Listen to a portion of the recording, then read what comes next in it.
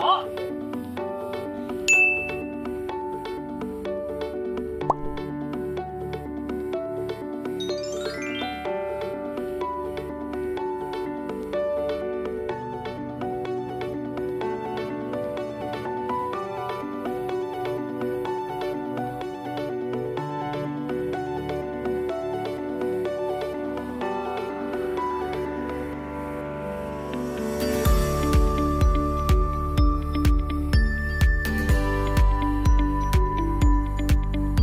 我记得有一次，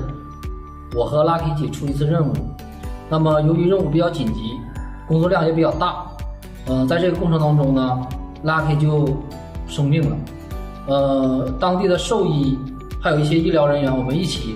呃，为 Lucky 进行治疗和诊断。那么这个过程当中，我每天都要抱着 Lucky 打针吃药，看着他依偎在我的怀里，又心疼